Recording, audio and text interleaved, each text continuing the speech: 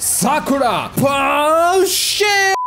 Welcome back to Shinobi Striker! Season 4 is upon us and War Sakura is the first DLC character. Kicking off the season with quite the treat for heal types, with some unconventional jutsu that are very useful for supporting a team, but not really the best at healing. Sakura is without a doubt a strong support character, but to heal your team you'll need to rely on healing tags and other jutsu, and we're gonna take a look at everything you get when you buy Sakura, and also take a look at the new attack types ultimate that you get if you decide to buy the season pass. And I know this video is late, but I was on vacation last week, and because of that, we're just doing the review for this character. We won't have the usual gameplay video with loadout suggestions, so as a part of this review, I'll also recommend a few loadouts as well that I feel were working really well and complemented her jutsu nicely. But before we get to Sakura, let's talk about that attack type ultimate jutsu, the Super Uzumaki Rasengan. It's basically a big Rasengan that you throw, that's pretty much it. This ultimate absolutely sucks at close range. The tracking on it isn't that great, so if you try to throw it at someone who's close to you, chances are you will miss. So it's an ultimate that you want to use at some range and in that situation it can be quite good and pretty much guarantees a kill. Despite the Rasengan size, I wasn't able to get many multi-kills with this. It was pretty much just a single target every single time. But the ultimate charges pretty quickly, so I guess that's fine. It does take ages to fire though. The animation for building up the Rasengan is so long that if the opponent happens to be looking in your direction, they may be able to hide behind some obstacle to avoid it. And I feel like attack types have so many ultimates that are a lot better than this. If all you're chasing is a single kill, there are a lot of options out there. It makes this ultimate look a bit bad by comparison. Overall, I don't think it's worth getting the season pass just for this ultimate. If you're getting the season pass because you know you'll play all the DLC, then sure, it can be a fun thing to try out, but it's not something that you need to go out of your way to buy because it's really not that special. But let's talk Sakura. First up, what does Sakura give you outside Jutsu? She's got two outfits, the last battle outfit, which is a top and bottom that comes with some healer focused skills, along with the Sakura outfit 3, which is also a complete outfit with top and bottom, with skills that are a bit more aggressive, encouraging that combat healer role. But of course you can always change the skills if you just like the look of the outfits. Sakura also comes with two different hairstyles. You've got Sakura the last hairstyle from the movie, as well as Sakura after the Great War, which as usual can be equipped by male and female characters. Finally, you get a lobby action called Maybe Next Time that looks like this, and the title The Fifth Hokage's Disciple.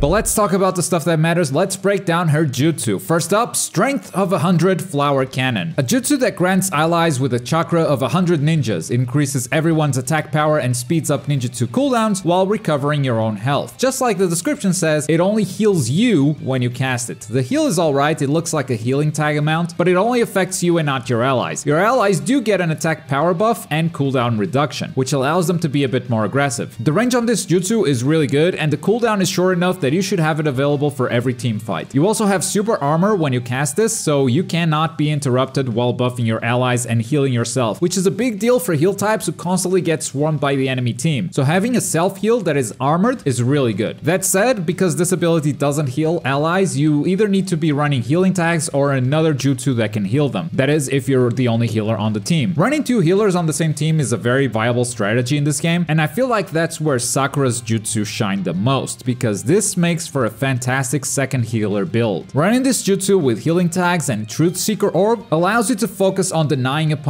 capturing points while disabling their jutsu. Or if you don't like that or don't want to be too close to the action, running this with something like Air Palm to disable opponents from a distance can also be good. You can keep yourself healed with this jutsu and save healing tags for your teammates. That said, if you're solo healing, since healing tags are your only method for healing your team, it might be a good idea to run the skill that reduces ninja tool cooldowns on your outfit. Comparing this to super lightweight boulder, I don't think it's quite as good. This one buffs attack power, which super lightweight doesn't, but super lightweight buffs your team's movement speed and charges their ultimate jutsu. Not to mention, it also shortens the substitution jutsu cooldown. So overall, I don't think this is a jutsu I'll be using in the future. It feels like super lightweight boulder is still the go-to. However, since Sakura's flower cannon can heal you, it does allow you to play a bit more aggressively if you like that playstyle as a heal type. Next up, Strength of 100 Hard Light, a jutsu that uses the chakra of 100 ninjas to fortify the user's body against powerful attacks. This is almost like a parry, but not quite. The jutsu is this little burst it doesn't have a lot of range, but it's not supposed to. It's a defensive move that blows opponents back while giving you super armor. And if you time it right, it also heals you. According to the description, it can be activated mid-attack, but like most things in this game, lag can completely break that. I've been able to activate it while being attacked, and other times the move just wouldn't activate. Or it would, and I would see the aura, but the super armor wouldn't kicked in, so I'd still get juggled. That said, when it's working, it's still a move that looks very boring. All it does is blow the opponent back, it doesn't even damage them, and you gotta time it right for it to even heal you. It feels like a pointless move, but folks, this is probably the best move Sakura brings to the game. Her ultimate is also good, and we'll get to that, but this, while simple, is exactly what heal types needed. When you're up against a solid coordinated team, what's the worst thing that you have to deal with as a heal type? Is it healing your team, or is it healing with three attack types rushing you down and melting your health bar? This is the jutsu that gives you space, the jutsu that blows back attackers and says, get away from me. Not only blowing opponents back, but also giving you super armor for a short period of time, which means that if you're running healing tags or another healing jutsu, they cannot interrupt your healing during this brief period of armor. And when it's working correctly, it can make you such an annoying healer to deal with because you have the substitution jutsu to escape combos, but you also have this ability and it allows you as a heal type to stay in the action and participate in the fight. So as far as loadouts go, you can go two ways with this. If your team has enough self-healing with abilities like Demon Hunter or Subterranean Voyage, then you can build aggressive. Always take those healing tags because they're gonna need some healing at some point, but you can take an aggressive jutsu like Nervous System Rupture. This particular loadout is even great for carrying flags because Nervous Rupture travels a lot, and you've got the super armor from Hard Light to carry the flag without flinching. On the other hand, if you think your team might need healing, then you can make your team incredibly hard to kill as a solo healer with healing tags and cellular extraction. Even as you're getting attacked, if you pop Hard Light, it gives you armor, and you can use both cellular extraction and healing tags before the armor expires. Now, you do need a team that can protect you somewhat decently, because you can keep opponents at bay for a bit, but if they keep focusing you while your abilities are on cooldown, you will still die. This jutsu will probably be on my main healer build for a while. I think it's really good, even though it looks deceivingly simple. I just wish it worked consistently. Lag can ruin this jutsu like many others in the game. And finally, let's talk about Sakura's ultimate, the 100 Healings Jutsu. It increases your own attack power, movement speed, and attack speed while healing